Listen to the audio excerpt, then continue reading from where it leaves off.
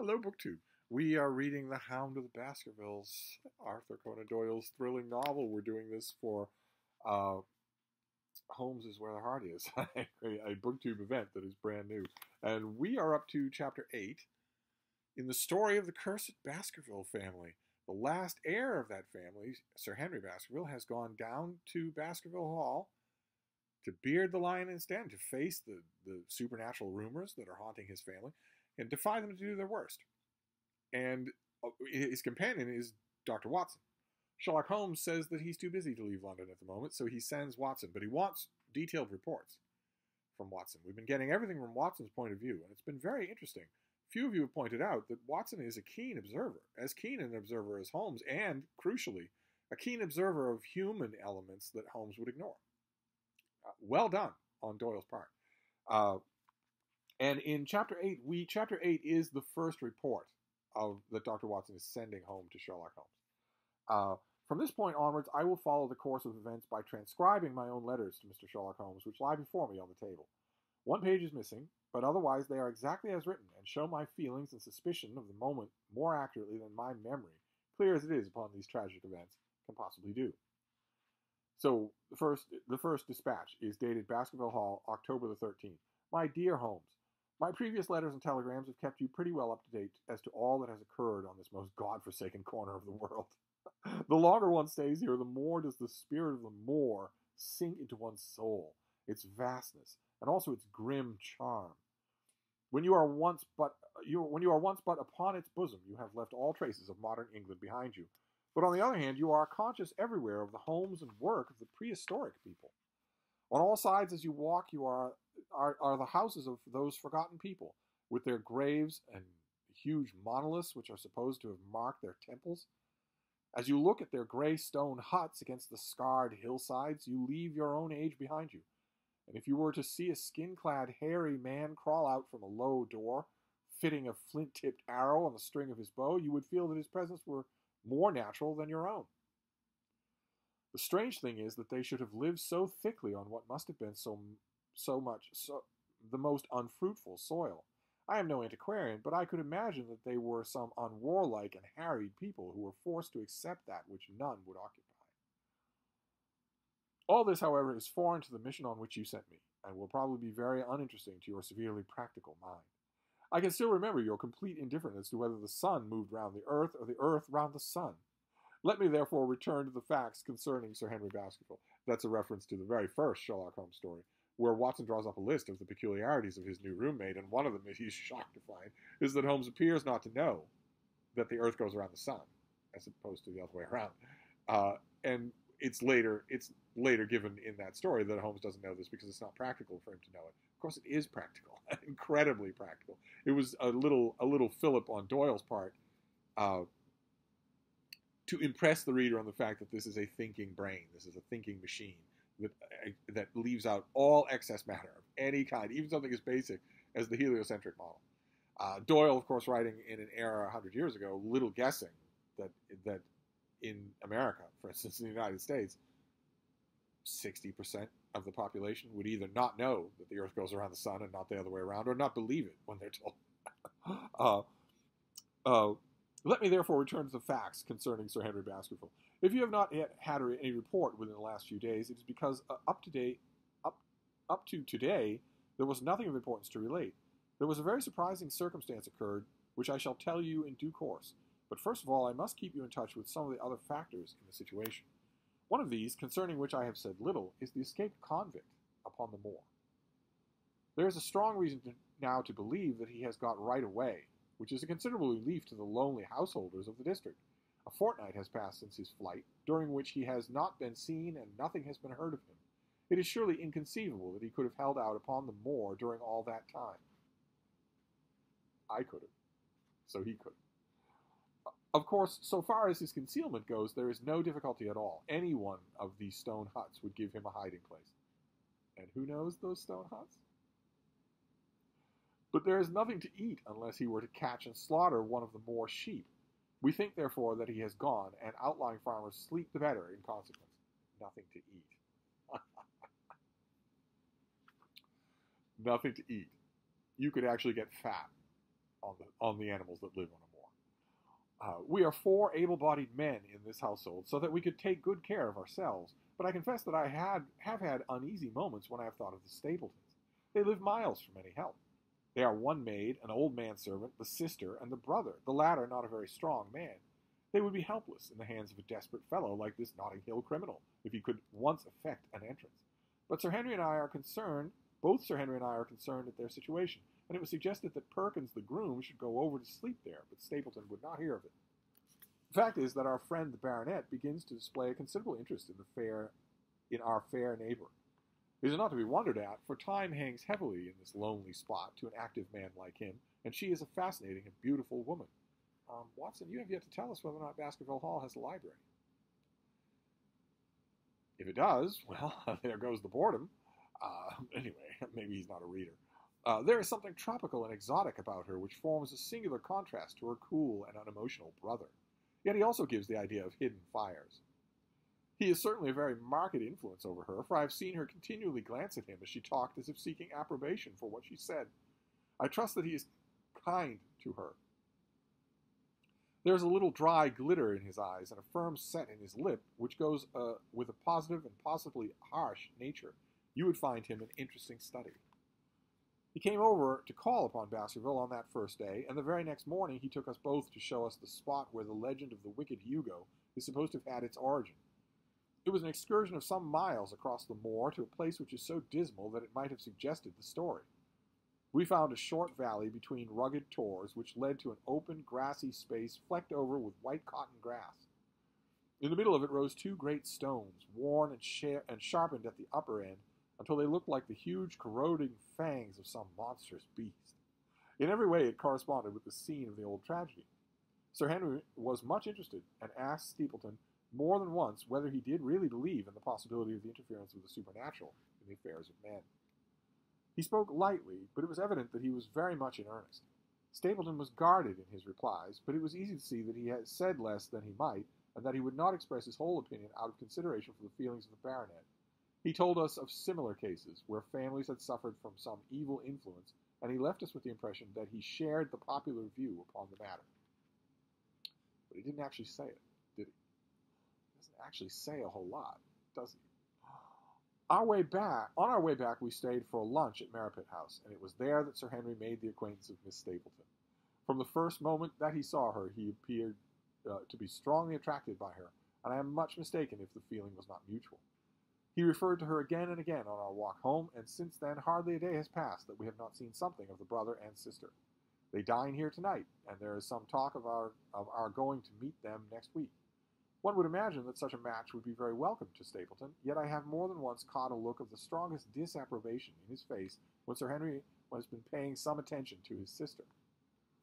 He is much attached to her, no doubt, and would lead a lonely life without her, but it would seem the height of selfishness if he were to stand in the way of her making so brilliant a marriage. Yet I am concerned, I am certain that he does not wish the, their intimacy to ripen into love, and I have said several times observed that he was has taken pains to prevent them face to face. By the way, your instructions to me never to allow Sir Henry to go out alone will become very much more onerous if a love affair were to be added to our other difficulties. My popularity would soon suffer if I were to carry out your orders to the letter. The other day, Thursday to be exact, Dr. Mortimer lunched with us. He has been ex- excavating a barrow at Long Down and has got a prehistoric skull from which which fills him with great joy, because he's a phrenologist. You can study the bumps and ridges even on an ancient skull. Never was there such a single minded enthusiast as he. The Stapletons came in afterwards, and the good doctor took us all to the yew alley, at Sir Henry's request, to show us exactly how everything occurred upon that fatal night. It is a long, dismal walk, the yew alley, between two high walls of clipped hedges, with a narrow band of grass on either side. At the far end is an old tumble down summer house. Halfway down is the moor gate, where the old gentleman left his cigar ash, it is a white wooden gate with a latch. Behind it lies the wide moor. I remembered your theory of the affair and tried to picture all that has occurred. As the old man stood there, he saw something coming across the moor, something which terrified him so that he lost his wits and ran and ran until he died of sheer horror and exhaustion. There was a long, gloomy tunnel down which he fled. And from what? Sheepdog on the moor? Or a spectral hound, black and silent and monstrous? Was there a human agency in the matter? Did the pale, watchful Barrymore know more than he cared to say? It was all dim and vague, but always there is the dark shadow of crime behind it. One other neighbor I have met since I wrote last. This is Mr. Frankland of Lafter Hall, who lives some four miles to the south of us. He's an elderly man, red faced, white haired, and choleric. His passion is for the British law, and he has spent a large fortune in litigation. He fights for the mere pleasure of fighting, and is equally ready to take up either side of a question, so that it is no wonder that he has found it a costly amusement. Sometimes he will shut up a right of way and defy the passage to make him open it. At others, he will, with his own hands, tear down some other man's gate and declare that a path has existed there from time immemorial, defying the owner to prosecute him for trespass. He is learned in old manorial and communal rights, and he applies his knowledge sometimes in favor of the villagers of Fernworthy and sometimes against them, so that he is periodically either carried in triumph down the village street or else burned in effigy, according to his latest exploit. He is said to have about seven lawsuits upon his hands at present, which will probably swallow up the remainder of his fortune and so draw his sting and leave him harmless for the future. Apart from the law, he seems a kindly, good natured person, and I only mention because you were particular that I should spend some, send some more description of the people who surround us. He is curiously employed at present, for, being an amateur astronomer, he has had an excellent telescope, which he lies upon the roof of his house and sweeps the moor all day in hopes of catching a glimpse of the escaped convict. If he would confine his energies to this, all would be well, but there are rumors that he intends to prosecute Dr. Mortimer for opening a grave without the consent of the next of kin, because he dug up the Neolithic skull in the barrow on Long Down. next of kin. Uh, he, he, helps to keep us uh, keep our lives from being monotonous and gives a little comic relief, which is badly needed. And now, having brought you up to date on the escaped convict, the Stapletons, Dr. Mortimer, and Frankland of Lafter Hall, let me end on that which is most important and tell you about the Barrymores, especially the surprising development of last night. The, the Barrymores are the two servants at Baskerville Hall, and Mr. Barrymore has a big black bushy beard like the man that Holmes saw following Sir Henry in London. First of all, about the, last, the test telegram, which you sent from London in order to make sure that Barrymore was really here. I've already explained that the testimony of the postmaster shows that the test was worthless, and that we have no proof one way or the other. I told Sir Henry how the matter stood, and he had once, in his downright fashion, had Barrymore up and asked him whether he had received the telegram himself. Barrymore said that he had. Did the boy deliver it into your own hands? said Sir Henry. Barrymore looked surprised and considered for a little. No, said he. I was in the box room at the time, and my wife brought it up to me. Did you answer it yourself? No. I told my wife what to answer, and she went down to write it. In the evening, he recurred to the subject of his own accord. I could not quite understand the object of your questions this morning, Sir Henry, said he. I trust that they do not mean that I have done anything to forfeit your confidence. Sir Henry had to assure him that it was not so and pacify him by giving him a considerable part of his old wardrobe, the London outfit having now arrived. Mrs. Barrymore is of interest to me. She is a heavy, solid person, very limited, intensely respectable, and inclined to be puritanical. You can hardly conceive a less emotional subject. Yet I have told you how, on the first night here, I heard her sobbing bitterly. And since then, I have more than once observed traces of tears upon her face. Some deep sorrow gnaws ever at her heart. Sometimes I wonder if she has a guilty memory which haunts her, and sometimes I suspect Barrymore of being a domestic tyrant. I have always felt that there was something singular and questionable in the man's character, but the adventure of last night brings all my suspicions to a head. And yet it may seem a small matter in itself. You are aware that I am not a very sound sleeper, and since I have been on guard in this house, my slumbers have been lighter than ever. Last night, about two in the morning, I was aroused by a stealthy step passing my room. I rose, opened my door, and peeked out. A long black shadow was trailing down the corridor. It was thrown by a man who walked softly down the passage with a candle held in his hand. He was in his shirt and trousers with no coverings to his feet. I could merely see the outline, but his height told me that it was Barrymore. He walked very slowly and circumspectly, and there was something indescribably guilty and furtive in his whole appearance. I have told you that the corridor is broken by the balcony which runs round the hall, but that it is resumed upon the farther side. I waited until he had passed out of sight, and then I followed him. When I came round the balcony, he had reached the end of the farther corridor, and I could see from the glimmer of light through an open door that he entered one of the rooms. Now, all these rooms are unfurnished and unoccupied, so that his expedition became more mysterious than ever. The light shone steadily as if he were standing motionless. I crept down the passage as noiselessly as I could and peeped round the corner of the door. Barrymore was crouching at the window with the candle held against the glass. His profile was hard, was half turned towards me, and his face seemed to be rigid with expectation as he stared out into the blackness of the moor. For some minutes he stood watching intently. Then he gave a deep groan, and with an impatient gesture he put out the light. Instantly I made my way back to my room, and very shortly came the stealthy steps passing once more upon their return journey. Long afterward, when I had fallen into a light sleep, I heard a key turn somewhere in a lock, but I could not tell whether where whence the sound came. What it all means I cannot guess, but there is some secret business going on in this house of gloom, which sooner or later we shall get to the bottom of. I do not trouble you with my theories, for you asked me to furnish you only with the facts. I've had a long talk with Sir Henry this morning, and we have made a plan of campaign founded upon my observations of last night. I will not speak about it just now, but it should make my next report interesting reading. All right, so that's chapter eight. Barrymore, the, the head head servant in the hall, is up to something, and clearly his wife is involved. They are both lying to Sir Henry. I don't know how serious it is, but uh, Barrymore is holding a light up to the moor. That's got to mean something. Uh, what do you make of it all? What do you make of it all? That's where we go. That is Watson's first report to Sherlock Holmes. We will continue on. These, this report, these actually, these factual reports from from Watson to Holmes, are two important elements of murder mysteries.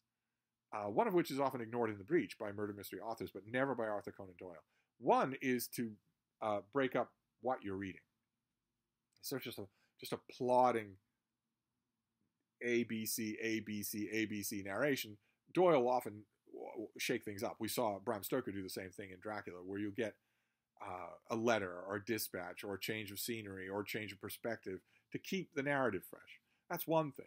And the other thing is a staple of murder mysteries, which is that at, at regular points throughout a murder mystery, especially if it's a novel, uh, it's it's good to come up with some way to pause and look at what you've got so far. This has happened a couple of times so far, just in The Hound of the Baskervilles. It's, it's always a good idea to do that, to pause and bring the reader up to date on all the stuff that's going on. It can be done very well, it can be done very poorly, it's up to the writer. Uh, one of my favorite examples of it is uh, Lindsay Davis in her Roman murder mystery series. We're, we're dealing with a wisecracking detective and a highborn Roman lady, and they become romantically attached and eventually married. And their conversations, they the, the narrative action in those novels periodically stops so that they can have a conversation in which they do exactly this, in which they test out you know, what do we know so far and how do we know it. Very, very interesting way for Doyle to do it. So that's what we got for this chapter. Uh, we'll move on next time. Thank you, BookTube.